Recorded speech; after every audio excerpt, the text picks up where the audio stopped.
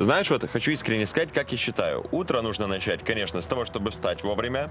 Возможно, с чая, но еще и с песни. Потому что запивающий, играющий день проходит гораздо быстрее и веселее. Вот такие же мысли у меня, что этим утром очень хочется спеть. Что мы, в принципе, и готовы уже сделать, может быть, немножко с нашими гостями. Ой, знаешь, а я, возможно, напротив, не рискнул бы петь перед нашими гостями, потому что, ну, как известно, пою я себе не очень хорошо, потому что скорее это больше похоже на крик дикого Но животного. Ну, это не приговор. Это не приговор, это все можно исправить. Кстати, об этом и поговорим, потому что гости у нас сейчас Доброе утро. совершенно необычные. Да. Здравствуйте. Здравствуйте, у нас Надежда э, Старкова, з- э, замдиректора Народного э, центра народного искусства Уральского, да, насколько я понимаю, и э, Зайцев Николай, художественный руководитель это Уральского государственного академического русского народного хора. И поговорим мы, э, между прочим, о необычном конкурсе. Правильно? Раскрыть, пожалуйста, что Вчера там у вас было да. большое масштабное мероприятие. Как прошло? А, Вы знаете, очень хорошо. Мы с большим туром в Крыму. У нас уже более 11 концертных площадок выступления Уральского народного хора. И вчера буквально мы в Симферополе дали большое концертное выступление. И меня очень порадовали зрители, слушатели. Настолько они эмоционально нас встречали. Ну а мы, артисты, э, дарили, вкладывали всю душу в, э, свое творчество, а, потому что, м, вот знаете, столько было разных а, концертов, была совершенно разная погода, мы попали И под дождь, и да? под дождь. И Я навсегда, наверное, запомню, как э, мы побывали в город Керчь, и там на концертное выступление в ливень в тот самый момент зритель шел, он буквально босиком шел на концерт Уральского хора. И это большая благодарность э, от зрителя. Это большой низкий поклон. Это дорогого стоит. Это, Очень. вот, это и есть же, как я понимаю, настоящее признание. Да, да. А, 11 концертов, да? Вот во, во всех городах, наверное, Крыма уже успели да, побывать. мы побывали, мы уже побывали и в Ялте, и мы и в Николаевке, и в Партените. А, сейчас мы, вот буквально завтра мы уже а, окажемся в Алуште. Сегодня у нас концертное выступление в Евпатории.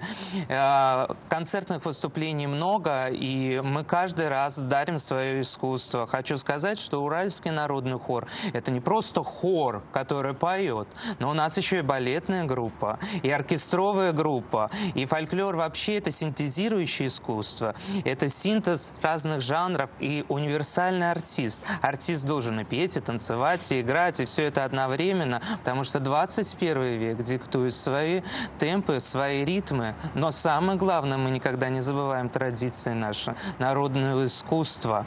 Мы и поем, и пляшем, и играем. И поэтому наша концертная программа построена э, так, чтобы мы прикоснулись к традициям Урала, чтобы кто-то познакомился с ними, кто-то, может, вспомнил. Мы исполняем песни советских композиторов и российских композиторов, современных композиторов, но в народной э, манере. Манере. Да. Вот не могу не спросить, понимаю, что вопрос напрашивается сам по себе. Как крымская атмосфера, крымская погода вообще способствует ли она выступлениям? Возможно, задает особенной, особой пряности выступлениям?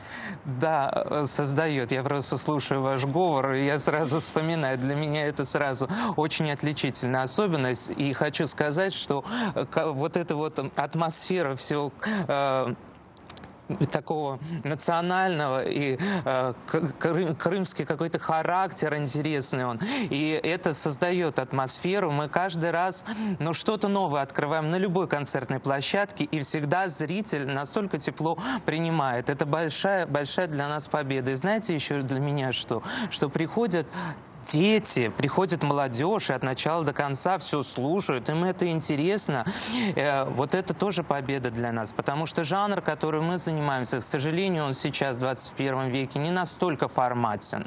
Но я говорю всегда, пусть мы не формат телевидения, но мы формат души. И для каждого, для каждого в определенный момент наступит тот момент, когда захочет окунуться вот в народные истоки. Народные истоки, тем более Уральский народный хор, э, хоть мы и занимаемся народным искусством и традициями Урала, но у нас больше 10 национальностей в хоре. И татары, и башкиры, э, даже лезгины у нас есть. Но все это объединяет любовь к русскому народному искусству.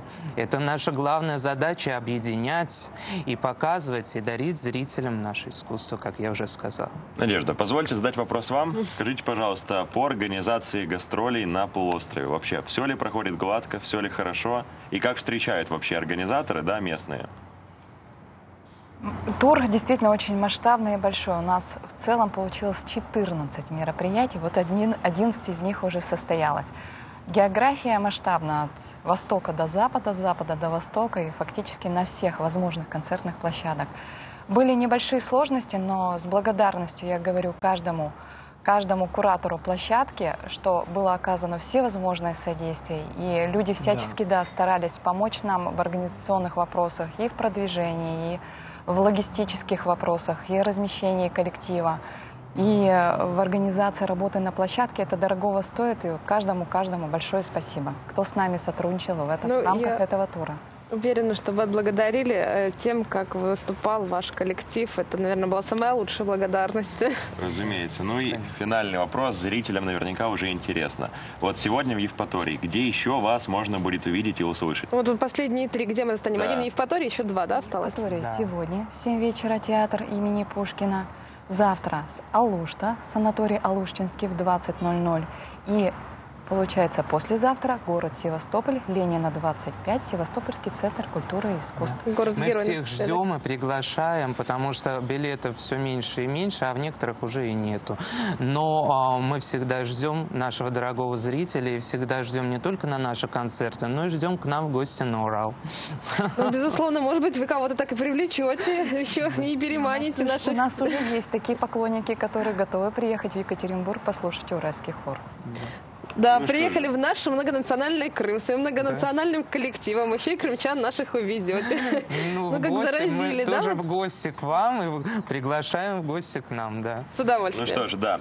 Спасибо вам большое, Надежда и Николай. Спасибо, что приехали э, к нам на эфир и тоже зарядили нас таким хорошим настроением. Ну а мы, надеемся, поделились, поделились с вами бодростью. Я напоминаю, что у нас был э, замдиректора концерта гастрольной деятельности и художественный руководитель Уральского государственного академического русского народного хора. Это Надежда и Николай пришли к нам в гости сегодня. Но, а я хочу напомнить, что, конечно, в искусстве нет ничего красивее, чем эклектика, чем сочетание двух разных начал. И поэтому, возможно, именно наш южный темперамент позволил так бодро и так интересно раскрыться этнике и народной музыке. Но в интернете, я не просто так о нем заговорил, тоже эклектики полным-полно. И уж поверьте, мы отбираем все самое интересное, ну, самое насущное. Поэтому прямо сейчас предлагаю вашему вниманию следующую подборку.